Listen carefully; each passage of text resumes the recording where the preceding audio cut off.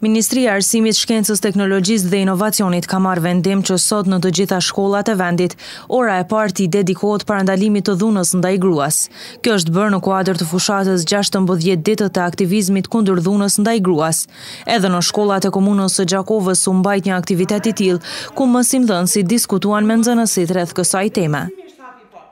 A në kuadrin e të gjitha aktiviteteve për ndalimin ndaj e dhunës ndaj grave, ta të organizojnë edhe këto orë mësimore, ora e parë sot në gjithë Kosovën t'i dedikohet kësaj teme. Para se të flasim se çka është dhuna në familje, doja ose dhuna ndaj grave dhe format e dhunës me të cilat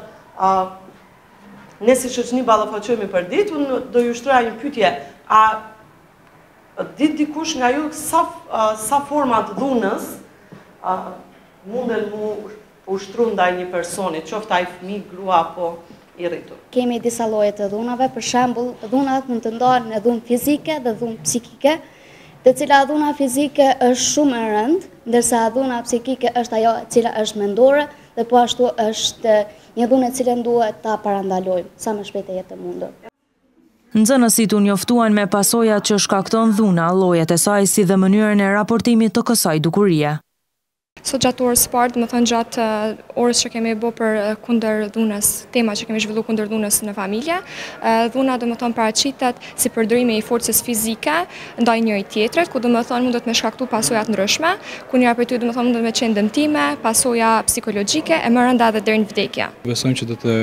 ketë një mesazh shumë të mirë, për arsye sepse do të kemi mundësi që ku do t'i raportojmë ne dhunët, edhe që besojmë që do të ketë sukses që të ndalet dhuna. Siç njofton ministria, kjo orë u mbajt me qëllim të kultivimit të vlerave, qëndrimeve dhe marrëdhënieve të shëndosha ndërpersonale në të gjitha nivelet.